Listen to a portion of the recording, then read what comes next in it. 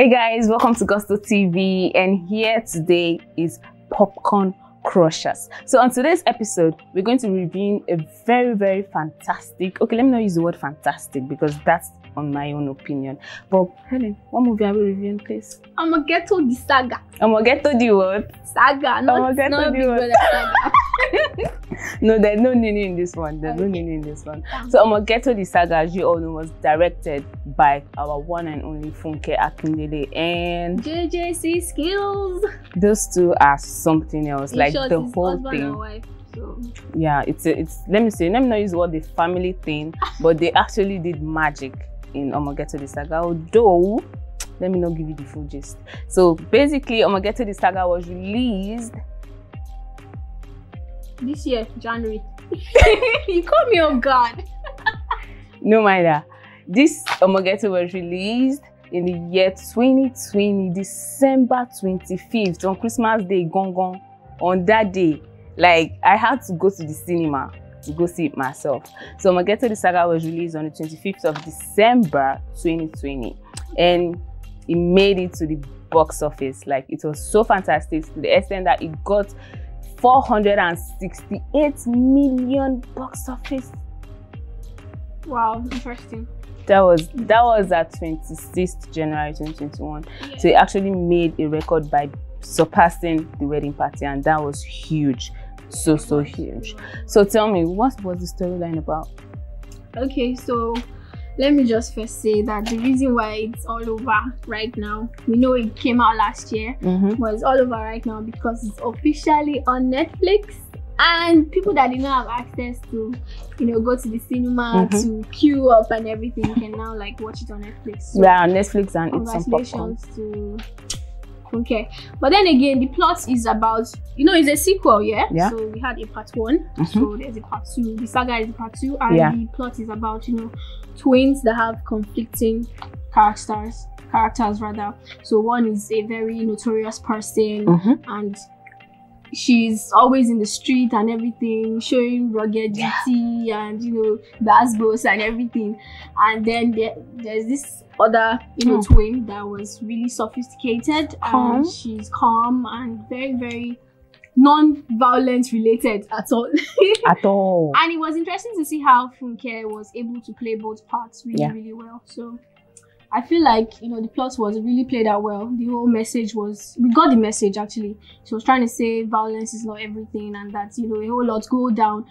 A whole lot actually go down in the streets of Nigeria, and Trust she me. literally played, you know, maybe not all of it, but we saw, you know, a part of what have been going down. We saw, we saw um prostitution, Yeah. we saw um, Popo. violence. We saw um, the fact that they were using Indian hemp and everything, We saw marijuana and all that. We you know, saw you we know. saw the name they call police, Popo and everything. so the message was well driven. Yeah, she also featured some amazing cast. We have Nancy Isime, we have Eniola Badmos, we have Alex Ekubo, and lots more. And the movie was actually, actually really, really nice for me.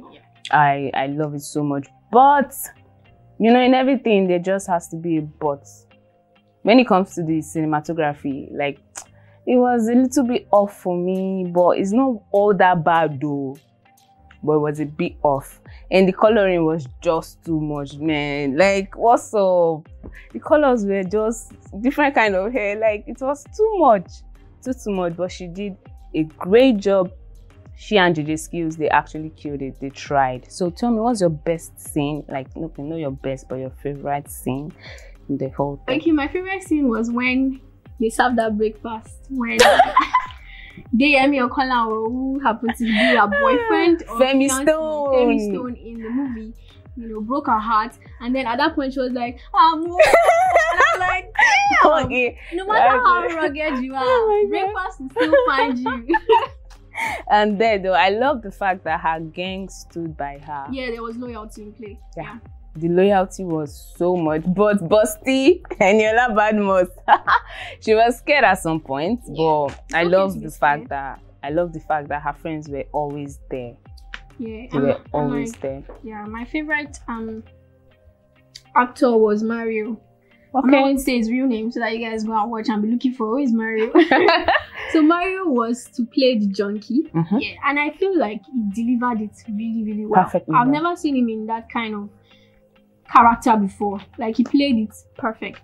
Yeah, Yeah, he did. He his his own. Wow, Character with was- me. No, I I I do because he actually tried. He killed it. He Okay. killed it. But then again, when I felt um, Lefty was emotional Yeah. and still has that whole rugged vibe in her was when her sister Ayomide was kidnapped. Yeah. I saw how she strived so hard to see. to save her sister and i saw that that that whole love like she the whole bond was just there like when she was saying oh i never really know my sister like that and this is this is and she stood by her friends just to make sure they were all safe even when they tried to help her in um rescuing her sister from Yeah. femi stone Yeah.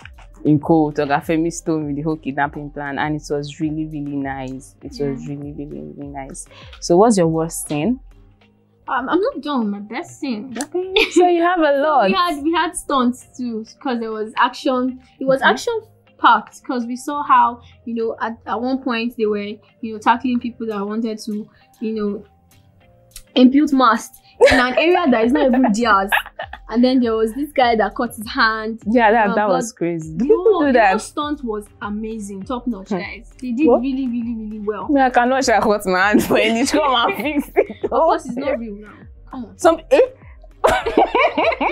But No, then some again, people these are are the actually things- these are the crazy. things that actually happen in the street. yeah. When you you know, cultist fights, or when you hear this gang fighting with this gang, a whole lot of things actually go Oh, down. And I like the fact that she was able to depict, even if it's not completely, but she was able to show us how dangerous it is yeah. down the street, and the street is for the bravest of hearts.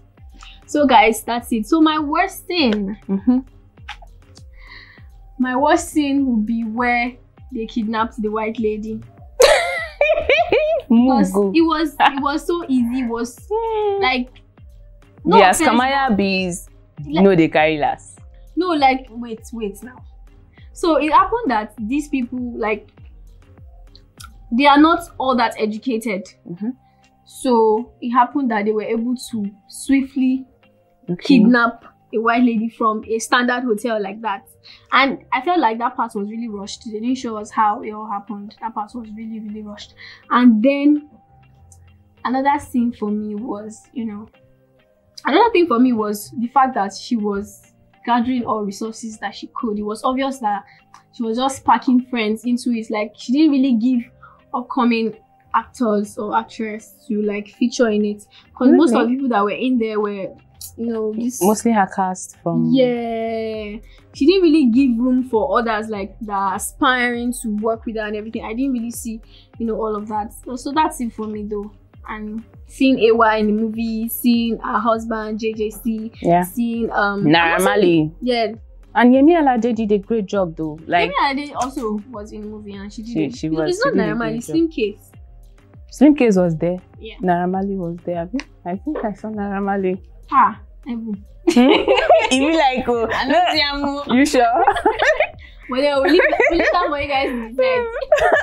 Go and But- watch it and let us know. exactly. But then again, but then again, good stuff.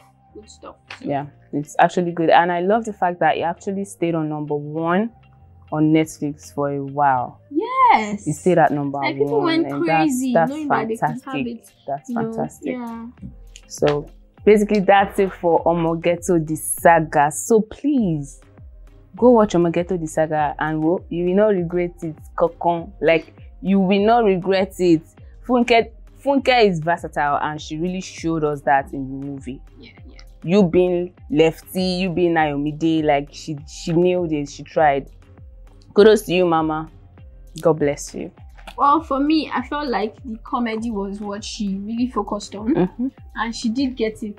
You know, she got she got it top notch, and then the whole message of, you know, you can't, you know, get away with kidnapping or whatever crime you are committing, you Yeah. know, wherever you are, you would one day get caught. That message was also, you know, driven really, really well. So I feel like at the end of the day, she did good. Yeah. She did good. She delivered her message really well. It's just that there's some hitches here and there. But then again, congratulations to Funke Akindele. You nailed this one, trust me. You nailed it. You nailed it, mama.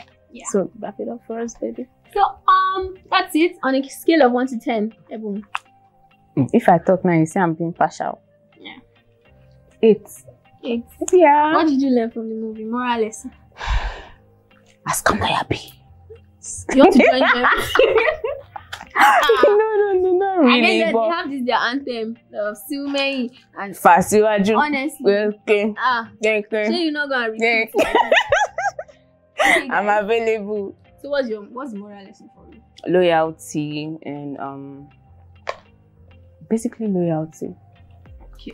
Her friends were loyal to the core. Yeah. So, Like they were there for her and that's awesome. so That's my, awesome. my my what I learned from the movie is the fact that you can't really it, it, it depicted that no matter who you are, you are who you are inside. Because they are twin. Yeah. One is this and one is the other. We can't say okay because they are twin, they have to come with the same character. Everybody is built and wired. Yeah, I get differently. coconut head though. Honestly, I get coconut everybody built and wired differently. So we just have to, you know, have different approach Yeah. to approach different people. True. You guys even make it True. Sure. So guys, that's that's it for me, guys. So on that note, we will be rounding up today's review. Till we come your way next time, please leave a comment on what movie you want us to be reviewing next. So until we come your way next time, I remain Helen. And I remain one and only Nefisat. Nice. Peace out.